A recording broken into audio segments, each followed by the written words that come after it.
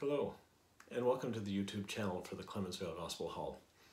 I'm going to take two or three minutes to give a little background of who we are and a quick introduction to this series of Bible teaching. For those of you who aren't familiar with us, we're a small local church located in Clementsvale, Nova Scotia. We're not part of any larger denominational structure, and we seek to gather according to the pattern of how the early church gathered, as taught in the epistles of the New Testament.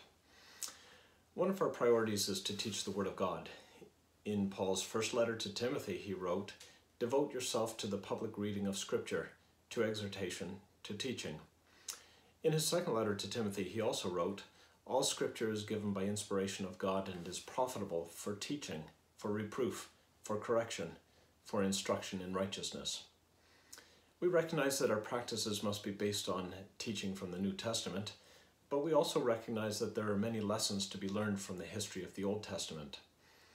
The current playlist, A Study of the Judges, comes from teaching given in the fall of 2020 as part of our regular weekly assembly meetings with speakers from our own local church and other churches.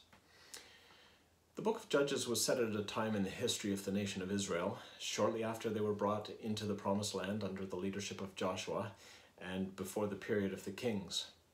Many dark days are described in the book of Judges, days that were marked by failure in the nation. Six cycles are identified in chapters 3 to 16. Each cycle is marked by the expression, The children of Israel did evil in the sight of the Lord. And as a result of this, the Lord delivered them into the hand of the enemy, their enemies. However, in contrast to their failure, we see God's grace displayed.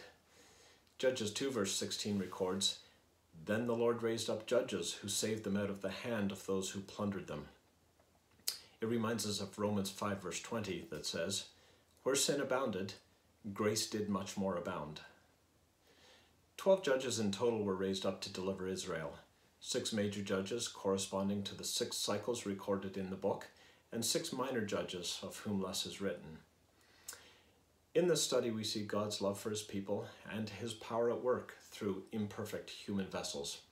We're encouraged that we have the same God who's able to work through us today in our weakness. We trust that this series will be a blessing to you. Please click on the link above to subscribe to our channel and stay up to date with new Bible teaching and gospel as it's published. And please feel free to leave us a comment below. May God bless you.